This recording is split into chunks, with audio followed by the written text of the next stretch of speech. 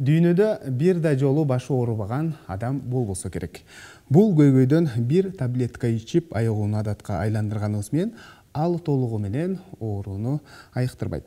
Адистердин айтымында эгерде башыңыз бат баттан ооруп турса сиз дароо дарыгерге кайрылышыңыз керек экен саламатсыздарбы теле көрүүчүлөр түз эфирде илим жана билим телеканалынын ден программасы бүгүнкү бейшемби күнкү чыгарылышын сиздерге сунуштайт. Ардактуу тиле көрүүчүлөр бүгүн биз баштын мигрен оорусу же болбосо шакый оорусу жөнүндө сүйлөшөбүз. Дал мына ушул кырк мүнөт бою сиздерге оору жөнүндө айтып ар кандай кеңештерди дарыгер айтмакчы. Демек программанын жүрүшүндө сиздерде да кандайдыр бир суроолор жаралса сөзсүз түрдө байланышка чыксаңыздар болот байланышчунун телефондору ноль отуз эки жыйырма эки код аркылуу эки кырк төрт сексен жети номери жана ошондой эле whatsapp номерибиз дагы иштейт. жети жүз жетимиш жети алтымыш бир ноль жети жыйырма жети номери анда сиздердин жана биздин суроолорго жооп берүү үчүн студиябызга атайын конок келген. Анда мен сиздерге тааныштырып өтсөм. Азизбек караев ош областаралык бириккен клиникалык ооруканасынын невролог дарыгери саламатсызбы студиябызга кош келипсиз эң алгач айтсаңыз баш эмнеден улам ооруйт бүгүнкү учурда неврология илимине баш оорунун эки жарым миңден ашык себептери белгилүү алардын көбүнчө биздин элибизде кезекчүсү бул кан басымын жогорулап же түшүп кетүүсү уйкунун аздыгы же көптүгү убагында жакшы тамактанбай калгандан же кант оорусу кант диабети башкача кылып айтканда. Андан тышкары стресс учурлары көбүнчө баш ооруну чакырат. Бирок эки миңден ашык себептери бүгүнкү күнгө белгилүү. Жакшы. Анан дагы тема боюнча маегибизди улантсак негизинен мына ушул мигрень же болбосо шакый оорусу бул кандай оору? Башка баштын ооруларынан эмнеси менен айырмаланып турат ушул боюнча айтып берсеңиз? Негизинен алып карап карасак тарыхына келип такалсак мигрень оорусу же биздин элде көп кездешет шакый шакына шакыя деген диалектке карап болгон ар кандай аттары кездешет. Бул оору гиппократтын заманынан эле белгилүү болуп келатат. Мигрень оорусунун келип чыгуусу ушул мигрень аттуу сөздүн келип чыгуусу. Гемикрания деген сөздөн ассимиляция болуп келген. Геми латын тилинен которулганда жарымы жартысы крания баш же баш сөөк демек мигрень оорусу баш оорунун жарым баштын жарым оорусу деп которулуп ассимиляция болуп мигрень болуп келип биздин элде болсо жогоруда айтылгандай шакына же шакый деп көп кездешет мигрень оорусу өзүнчө цереброваскулардуу бир оору катары каралат азыркы илимде башкача кылып айтканда баш мээнин кан тамыр оорусу баш мээнин кан тамырлары өзгөчөлөнүп бөлөк кан тамырларга караганда булар мээге келип же кетип аткан кан тамырдын кан ичиндеги кандын көлөмүн өзгөртүүгө жөндөмдүү ошодон улам ушул кызматы начарлаганда мигрень оорусу келип чыгат. Мигрень оорусу кыргызстанда өтө көп кеңири таралган бирок так статистикалык маалымат азырынча жок. Себеби каттоо базасы. Бул менен алектенген илимпоздорубуз диссертация жактаган дарыгерлерибиз азырынча аз болуп атат. Ошондуктан так статистика айтыш кыйын болуп атат. Мигрень оорусу мистикалык оорулар катарына кирет неврологияда. Анткени тарыхта эгер тарыхка карасаңыз бул оорунун дарылоодо ар кайсыл заманда ар кандай эл ар түрдүү бир ыкмаларды колдонгон маалымат катары айтып кетсем египетте мурдакы египетте баш ооруган адамдарды крокодилдин оозуна салып койгон учурлар болгон. Себеби ал каны муздак жаңзат болгон үчүн муздак нерсе баш ооруну азайтат. Же чарльз дарвин белгилүү чарльз дарвиндин чоң атасы эдвард дарвин бул ооруну кокаин упасы жана уксус кычкылы менен дарылаган кээ бирки дарыгерлер бутунан байлап жогору карап асып койгон учурлар да болгон бирок бүгүнкү күнгө келип азыр классикалык медицинада биз дары дармек жана бөлөк ыкмаларды колдонгонго эле жакындап калдык. Мистикалыктын дагы бир жагы бул мигрень оорусун чакый оорусун эч бир инструменталдык изилдөө аркылуу же бир кандын анализ изилдөө аркылуу тапканга болбойт. Бул ошол эле классикалык көрүнүш врач жана бейтап дарыгер жана бейтап системасында маекте сүйлөшкөндө гана табылчу оору. Ошондуктан так далил деп бир кагаз жүзүнө чыгарганга болбойт. Ошол жагынан да мистикалуу кызык жерлери бул оорунун башталарында ар бир адам ар кандай өзүнчө бир белгилерин сезет. Тарыхка назар салсак кайрадан бул оору менен атактуу жазуучулар илимпоздор ооруган аларды айтып кетсек баарыбызга эле белгилүү болгон алиса в стране чудес э, жомогунун автору льюис керрол өзү да ооруган ошол киши оорусунан мурун баш оорусунан мурун ушундай бир нерсени көрчү бир кээ бирки нерселер чоң.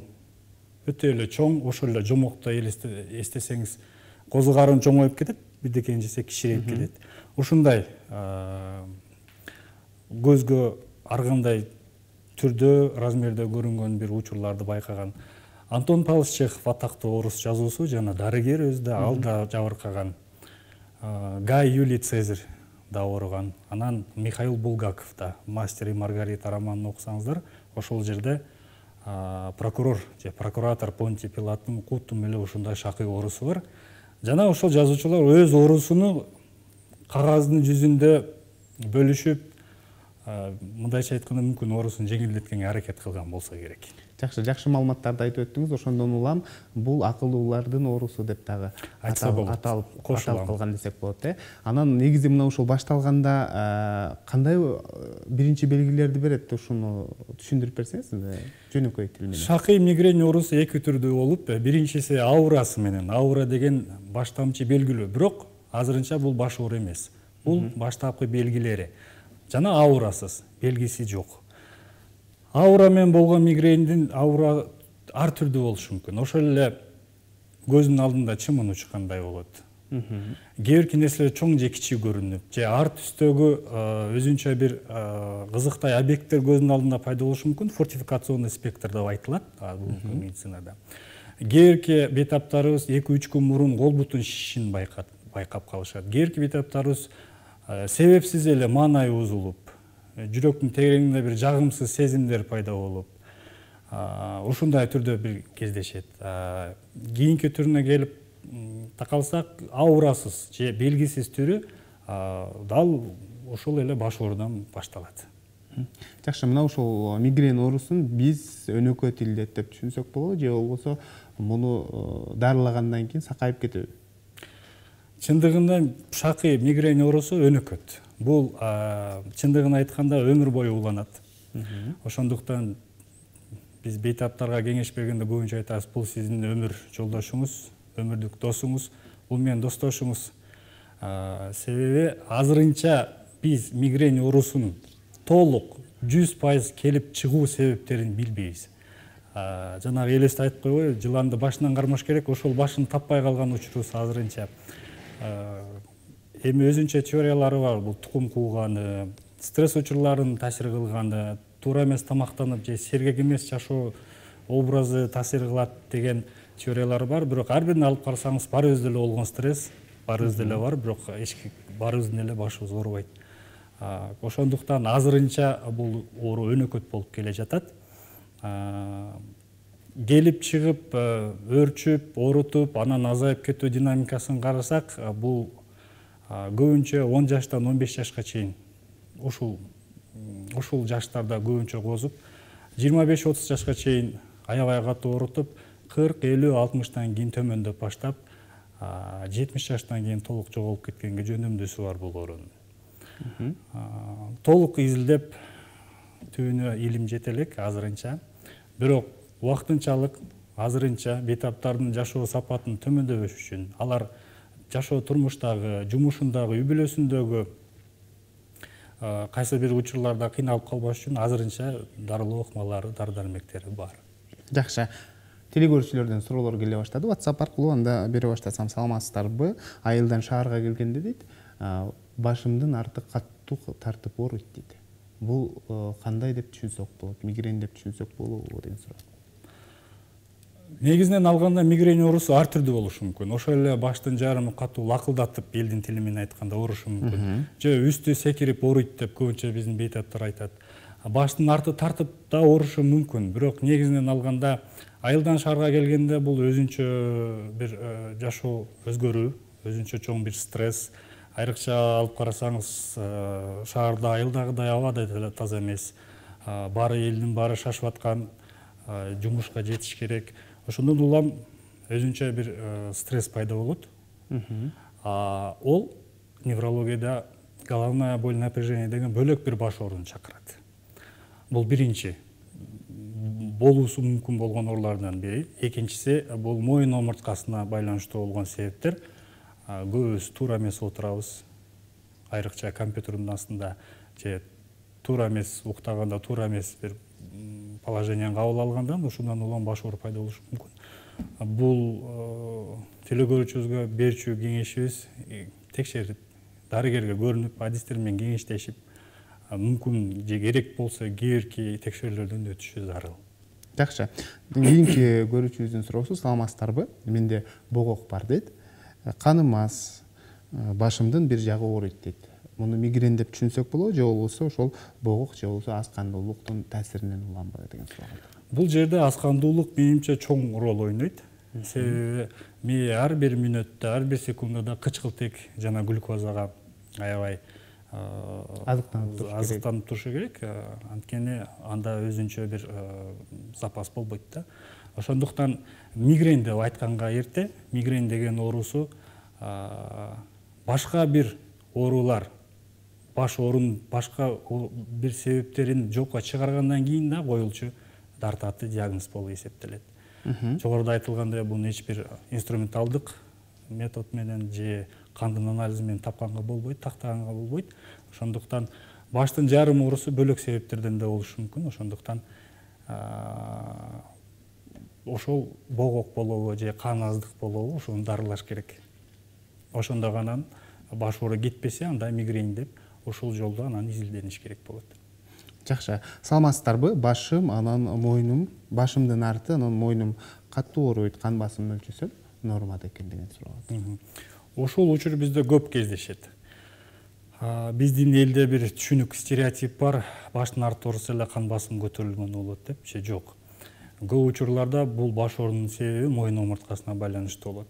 Айрыкча биздин эжелерибиз апаларыбызда кырк кырк беш жаштан кийин мойын омурткасында ошол эле элибиздин тили менен айтканда туз топтолуп баштайт. Илимий тилде остеохондроз же дорсопатия деп айтабыз. Ушул себеп мойын омурткасында кан тамыр жана нерв тамырлары кысылып калчу болот. Ал өзүнчө өз иретинде мээге кандын аз келүүсү же кандын ткандарына мээнин баш мээнин ткандарына кеткен баш сөөктүн ткандарына кеткен нерв тамырлары кысылганда ошентип да оору пайда болот жакшы биз дал мына ушул тема боюнча шаар тургундарына микрофон сунган элек анда жалпыбыз биргеликте суроом бар рубрикасына көңүл бурсак андан соң кайрадан жолугушабыз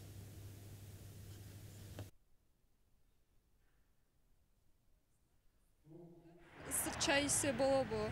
Урматтуу дарыгерлер шакый оорусун дарылабаса эмнеге алып келет? Ушул суроого жооп берип койсоңуздар. Шакый оорусу э, э, тукум куйбу ушуга жооп берип койсоңуздар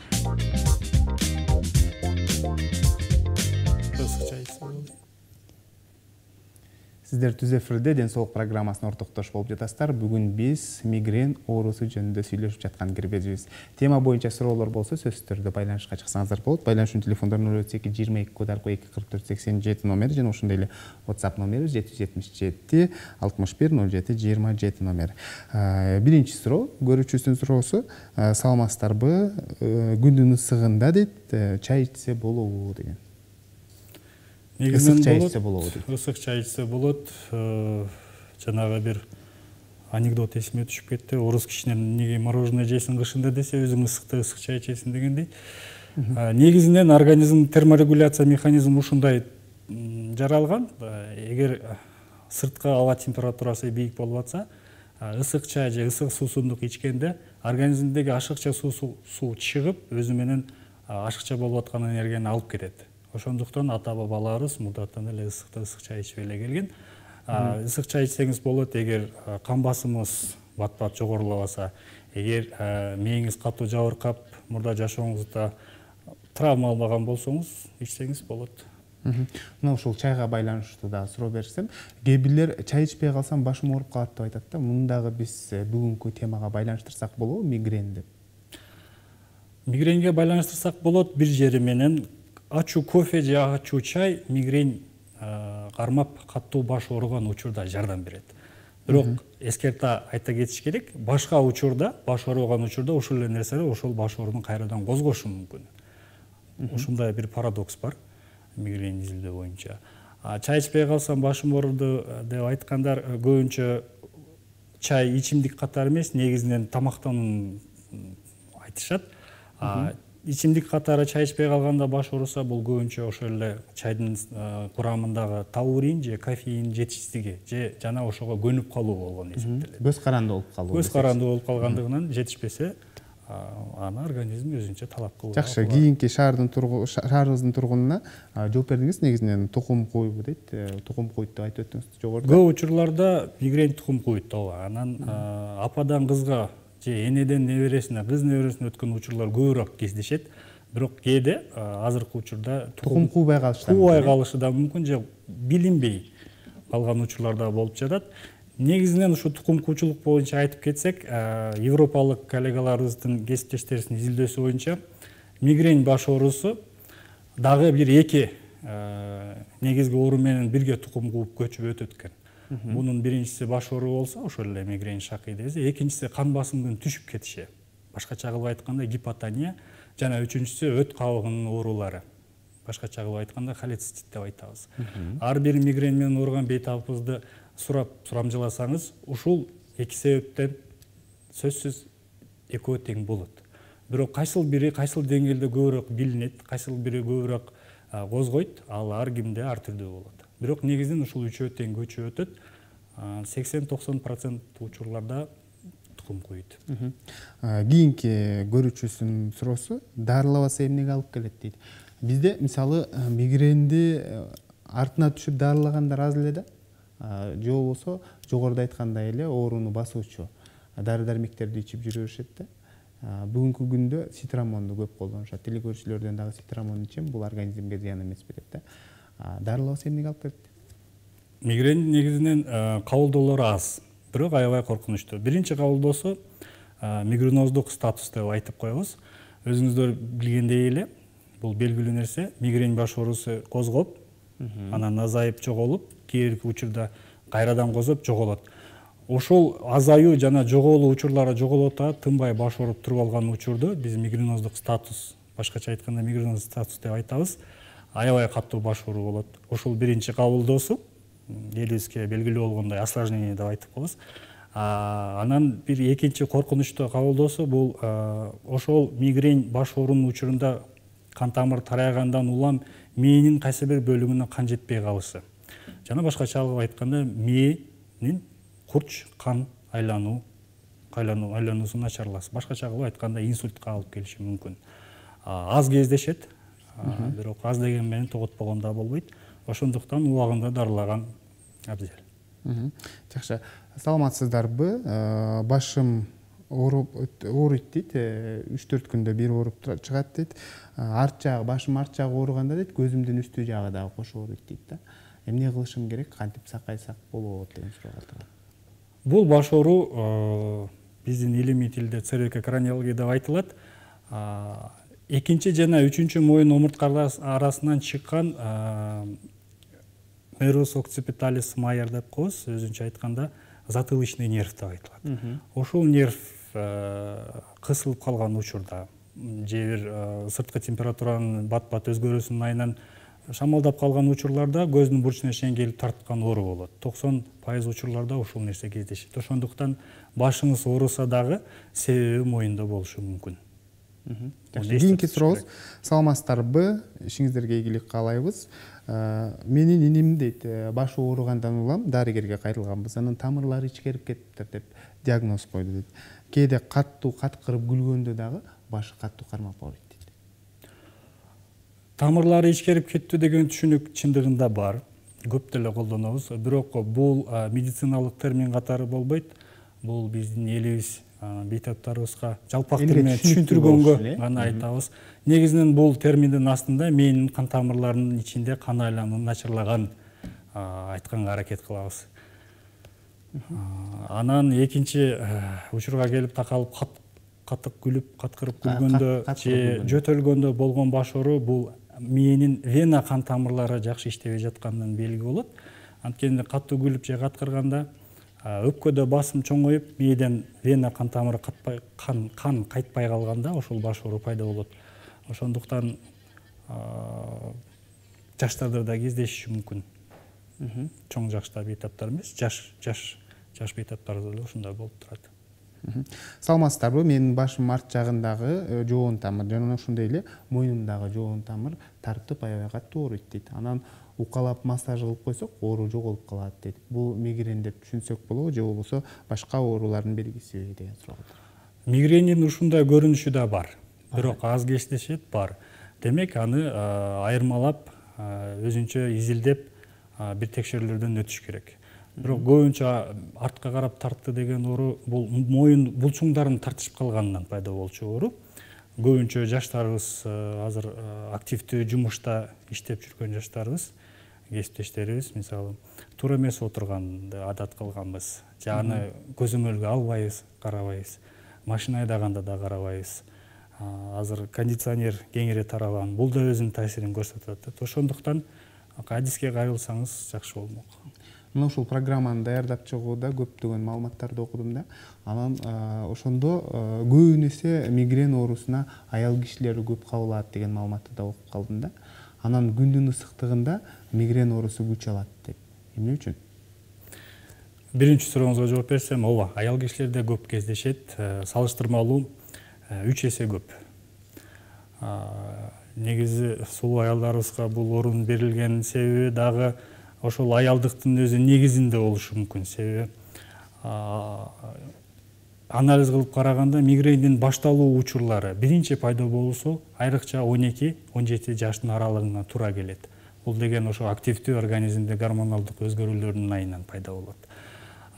Кош бойлуу учурда көп ооруларда эле сыяктуу мигрень да азаят. Бирок төрөттөн кийин эки эсе күч алып ооруйт анан кырк беш алтымыш жаштардын аралыгында мигрень да күч алат. Бул да өзүнчө гормоналдык өзгөрүүлөрдүн бир көрүнүшү деп кабыл алынат. Башкача кылып айтканда менопауза дейбы ошондуктан аялдарда көп кездешет. Күн ысыктыгы күн ысыкта ооруганын себеби бул жерде бир окшош жери бар. Мигрень өзү негизи кан тамыры башында тарайып кийин капыстан эле чоңоюп кеңейип кеткенден кийин пайда болгон баш оору. Күн ысыкта деле организм өзүнчө ички температуранын бір көзөмөлдөш үчүн кан тамырларды кеңейтет. Мээнин кан тамырлары да кеңейет ошол учурда эле ошол мигреньге шакыйга окшош баш оорулар пайда болушу мүмкүн. Бул эми негизи баарыбызда эле болушу мүмкүн. Айрыкча күн ысыкта баарыбыз эле көп бассак башыбыз ооруйт ошондой эле нерсе. Демек күн ысыкта мээнин кан тамыры кеңейгенин айынан баш оору пайда болот. Жакшы.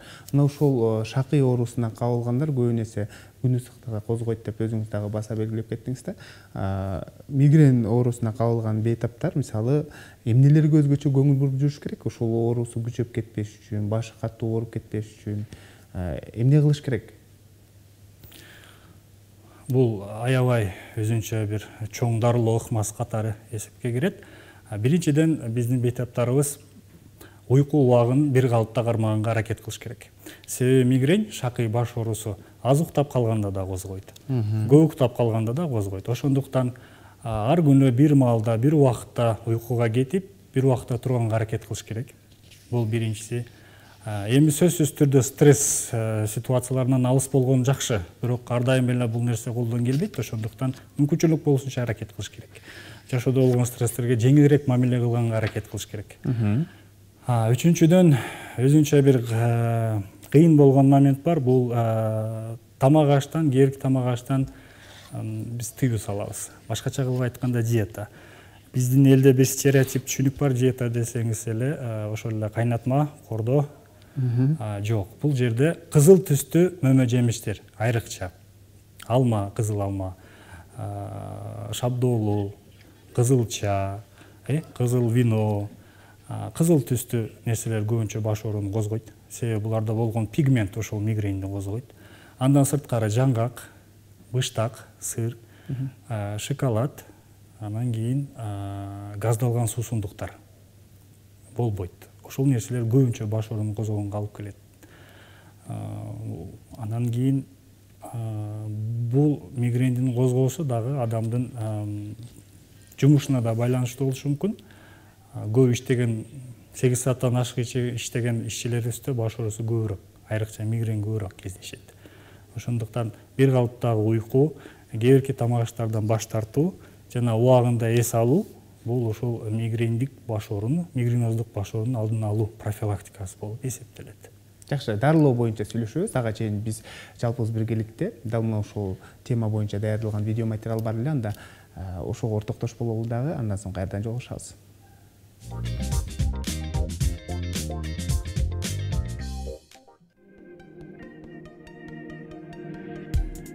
Шакый бул неврологиялык дарт. Көбүнчө баштын бир бөлүгүнүн оорутуусу. Өзгөчө он эки жаштан кырк беш жаштагылар чалдыгып элүү жаштан кийин жоголот же аз кармайт аталган оорудан аялдар көп жабыркашат жай айында күч алуучу бул дарт алгач чыкыйдан башталып анан көзгө желкеге өтөт. Кээде оорутуу эки үч саатка же андан узакка созулганда баштын экинчи жарымына да өтүшү мүмкүн. Оору айрымдарда күн же апта сайын кармаса айрымдарда эки үч же жети айда бир кармайт бул жашоо жана иштөө шартына өзүн алып жүрүүсүнө өнөкөт ооруларына дагы жараша болот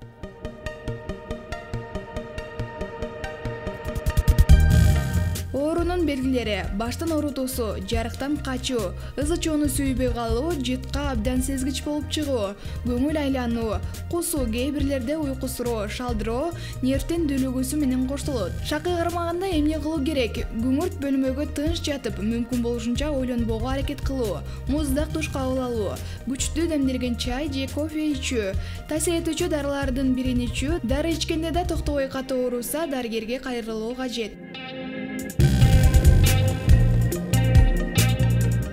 шакый токумгуйт энеден шакыйдын баласына өтүүсү элүү атасыныкы жыйырма беш пайызды түзөт. Эгер ата энесинин экөөүндө тең болсо анда балдарына өтүү коркунучу. Элүү пайыздан жогору. Шакый кармаганда жеген тамак оңой менен сиңбей. Ашказанда кармалып тура бергендиктен кусууга жеткирет. Мындай дартты барлардын кээ бири эмне кылса жана ичсе оорусу басыларын билип калышат. Андыктан эмнеден басылса ошону жасай берүүгө болот. Айрымдар муздак душка түшсө айрымдар ысык чай ичип тердеп дарысыз эле айыгып калышат. Кээ бирөөлөрдүкү дары ичмейин басылбайт. Эгер ушундай болсо бир күндө шакый эки үч ирет кармаса дарыны дагы эки үч ирет ичүү сунушталат. Оорусу кармаганда адам ого бетер нервтенсе кан басымы көтөрүлүп инсультка чалдыгышы мүмкүн. Аталган дарт жолдобу иштебей кармап калышы мүмкүн. Ошол себептүү жанында дарысын салып жүрүү кажет. Адамда шакыйдан тышкары башка өнөкөт оорулары болсо анда кандай дары ичүү керектигин дарыгер менен кеңешип алуусу кажет. Эгер оору бат бат кармаса анда ооруканага жатып дарылануусу керек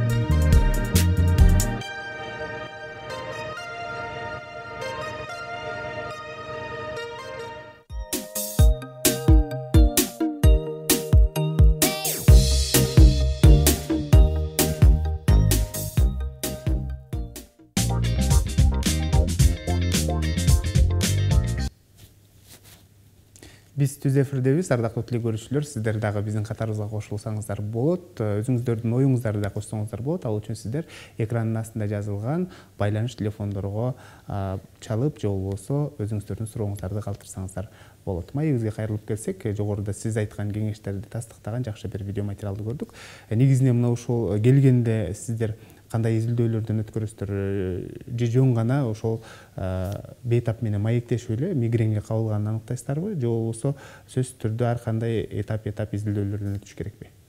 Сөзсүз эки этаптан турат диагностика өзүнчө дарт аныктоо биринчиден жогоруда айтылгандай мигренди эч бир инструменталдык изилдөө же анализ менен тапканга тактаганга болбойт.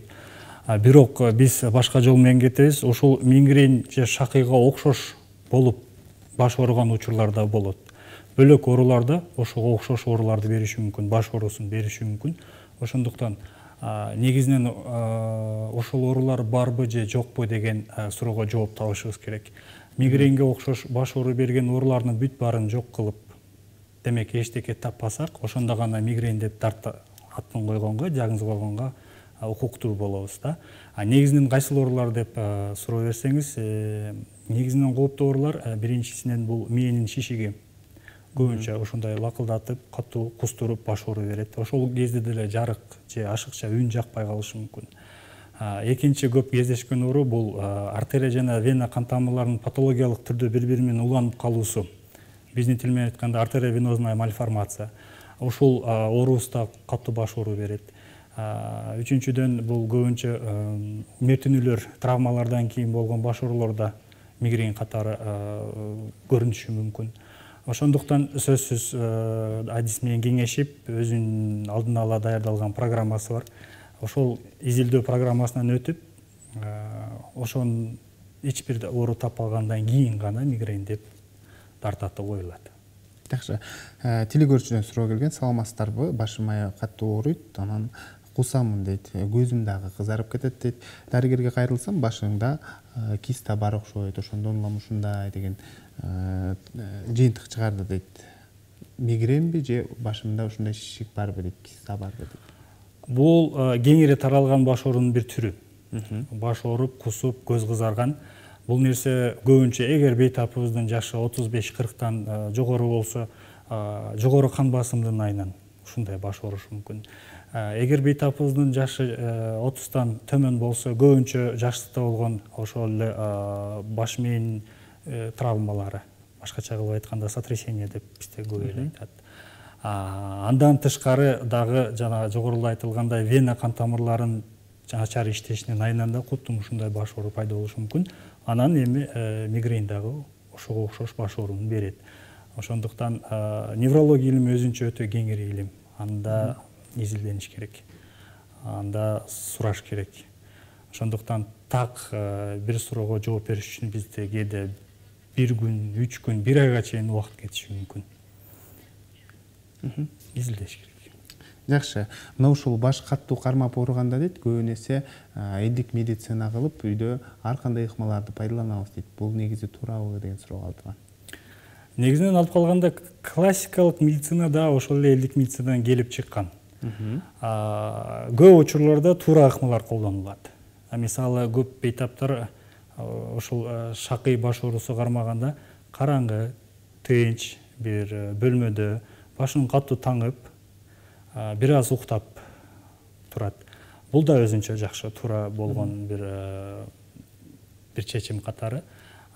Керкилерибиз диний бир кызматка дагы келишет. Бул да өзүнчө зыяндуу эмес өзүнчө да кээде пайда болот себеби маанайга болгон адамдын өзүнө өзү айткан сөзү дагы кылган ниети да баш оорунун дарылаганга жардам берет кээ бирки учурда туура эмес бир ыкмалар болуп калат аларды айтсаңыз кызыктай эле. Жана кемпирге тептирет шакый жуабыз деген дагы бар го теңдеп коет оң жак сол жакты теңдеп коет дейт. Бирок негизинен алып караганда бул адам кишинин психологиясына болгон жөндөөлгөн нерселер болуш керек. Негизинен бир илимий далилдегенге болбойт. Жакшы. Андан сырткары мисалы күн ысыгында ушундай баш катуу ооруй баштаганда көпчүлүк адамдар мисалы жоолуктарын суулап аял кишилер салынып алган учурлары же болбосо кездеме менен ушул суулап туруп төбөсүнө койгон учурлары жана ошондой эле бакай жалбыракты дагы үзүп койгондорун көрүп калат элек да. Ушул боюнча айтсаңыз. Негизи жоолукту же бир нерсени суулап койгон негизинен туура. Биз да колдонобуз керек учурда бул нерсени. Себеби баштын үстүндөгү температуранын төмөндөшү мээнин кан тамырларынын тарайышына алып келет. Ашыкча кеңейип кеткен мээ кан тамырлары өз нормасына кайтат. Бирок көп учурда ошону суулап туруп анан кондиционердин астына барып же вентилятордун астына барып отурган учурлар кездешип калат бул туура эмес. Шакыйдан кийин эртеси моюн омурткасынын нервтери сезгөнүүсү пайда болуп ал өзүнчө бөлөк бир баш оору демек өзүнчө бир ден соолуктун көйгөйү пайда болот ошол нерседен этият болуш керек. Бака жалбырак боюнча айтып кетсем элде көп таралат бирок менин билишим боюнча бул нерсе теринин бир жаралары пайда болгондо ошол нерселерди айыктырганга кеңири колдонулат шакыйда эми эгер ошол нерсе да жардам берсе колдонсо болот муздактыгынан балким сакайып калышы да мүмкүн да балким. Жакшы. Сиз дарыгер катары негизи ушул шакый кармаганда же болбосо мигрень башталганда кантип дарылаш керек ошону жалпы теле көрүүчүлөргө айтып өтсөңүз туура дарылоо жолдорун. Негизинен э, биринчи кезекте ошол баш оорунун козголуусуна алып келбеген макул. Башкача кылып айтканда профилактика жүргүзгөн абзел болот. Бирок ошондо да капысынан кармап калган учурда сөзсүз тынч салкын болгон бир бөлмөгө кирип ошол учурда ачуу кофе жардам берет бир аз уйку да жардам берет. Андан тышкары азыркы биздин медицинада кеңири таралып калды. Мигрень мигреноздук ооруларга каршы өзүнүн атайын дарылары ошолорду колдонуш керек болот. Булардын тайпасы триптанды деп айтылат триптан дарылары. Биздин түштүк региондо да кеңири таралып калды. Бирок сөзсүз адистин кеңеши менен барып дарыканалардан алып колдонуу жолдору да өзгөчө. Ошолор менен баш ооруган учурда жардам алса болот. Эгер э, сиз баш ооруңуз аябай катуу күчөп ичкен дарыларыңызда таасир кылбай атканын байкасаңыз анда сөзсүз түрдө ооруканага кайрылыш керек болот себеби жогоруда айтылгандай бул мигрендин биринчи кабылдоосу мигреноздук статус. Ошол нерсе болушу мүмкүн. Же башкача айтканда мигренозный инсульт деп коебуз ошол эле мээни кан айлануусунун курч бузулушу. Ошол нерсе болушу мүмкүн ошондуктан ооруканага кайрылган абзел болот. Анан жогоруда айтып кеттиңиз цитрамон деп көптөн бери белгилүү дары көп адам колдонот. Цитрамонду көп колдонгондо зыяндуу болот. Анткени цитрамонду көп колдонгондо өзүнчө башка бир баш оорунун түрү пайда болуп пайда болот. Ал орус тилинде абузусная головная боль деп коет. Башкача кылып айтканда ошол дарыга көз каранды болгон баш оору ошондуктан көп учурларда бир колдонгондо беш алты же андан көп колдонгон учурда ошол нерсе баш оору пайда болот. Жаман жери беш таблетка таасир кылбай атат демек көбүрөөк ичишим керек деген бир жаңы жолго кирип бейтаптарыбыз андан да көп ичип баштайт ошол учурларда бул баш оорунун дарылаш бир аз татаалыраак болот ошондуктан эгер ушундай бир мигрендин катуу белгилерин башыңыз катуу ооруп көңүлүңүз айланып кусуп баштасаңыз адистерге кайрылыш керек сөзсүз түрдө жакшы теле көрүүчүлөрдүн аябагында көптөгөн суроолор бирок баардыгы окшош болгон үчүн жогоруда жооп бердиңиз деп айтып өтөлү э, кийинки суроо э, саламатсыздарбы мен компьютерде көп отурсам э, же болбосо телевизордун алдында көп отурсам дейт башым аябай катуу ооруйт дейт эмнеден улам болушу мүмкүн. Негизинен компьютер же телевизор аябай жарык объект катары кирет.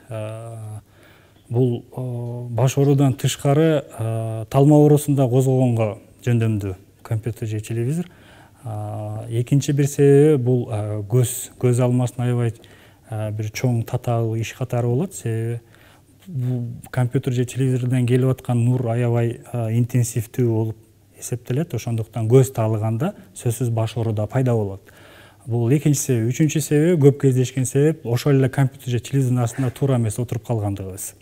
Же ошо көздү сактаган атайын көзөйнектерди колдонбогонубуз ошол нерселер баш оорунун себеби болушу мүмкүн. Ошондуктан бул теле көрүүчүбүзгө кеңештейт элем жогоруда айтылган нерселерди э, оңдогонго эгер туура эмес болсо аракет кылып көрүш керек. Ошол учурда гана бир э, өзгөрүш сезилбесе анда адиске кайрылыш керек.